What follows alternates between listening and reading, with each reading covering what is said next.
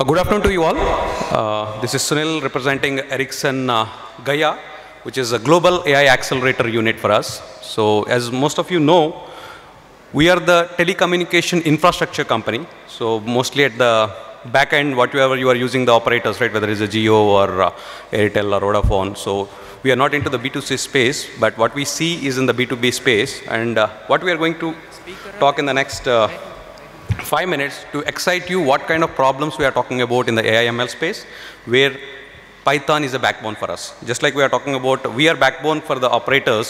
So Python is backbone for us when we are building the AI and ML solutions. So what we are representing here, we are building a team of 300 data scientists uh, globally. Even we have presence in Chennai and uh, Bangalore in India, and in Silicon Valley, and even in our headquarters, Sweden.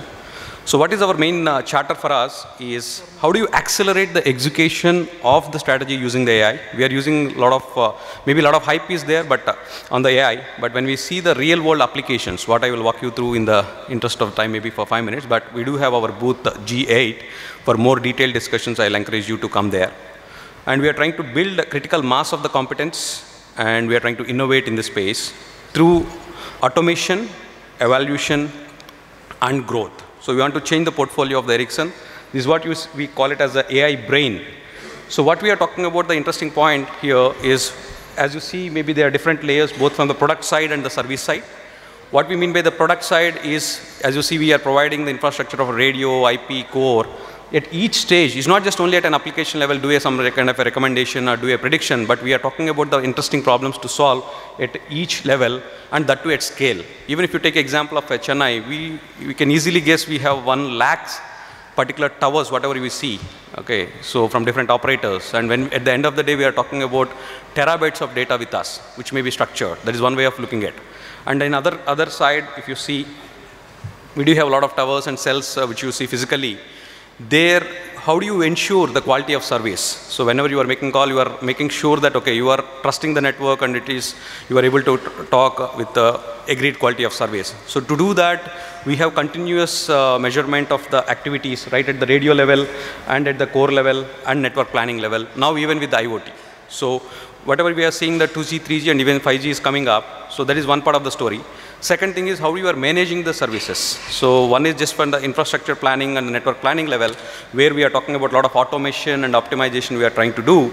At the same time, if I go for a specific example, let's say I want to predict, okay, maybe a lot of crowd is here, and then what kind of quality of service we can promise, and what kind of pre- predictive actions we can take when we have the information, right? It may be configuration changes, or it may be having the specific parameters which are uh, maybe root causes for that. All this we are trying to do uh, with the Python being the backend.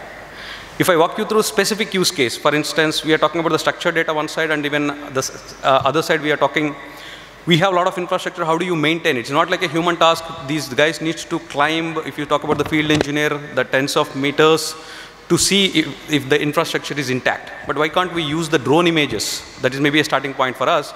And a lot of visual intelligence applications even though we are talking about a couple of applications here but it's not limited to this one. If i take one example of weatherproofing where we are doing a live demo of object detection uh, using python uh, which we built it if you see there is an exposed part so which may be because it's in the outside in the environment.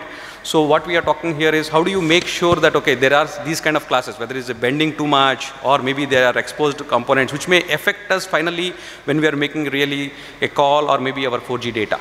So these are the interesting points which we are uh, talking about uh, solving it in our real real world in the interest of time, we are not going too many details, but let me, uh, it's not like we are consumers of the Python uh, or maybe the open source community, even we are con- contributing back. We do have active volunteers who are contributing it as scikit-learn or Python packages.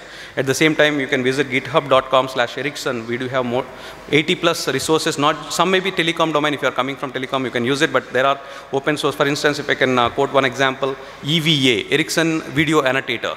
So that is one of the that's built on Python. So you can uh, access those and give us the comments, and we encourage you to visit our booth for more detailed applications. Thanks for the opportunity.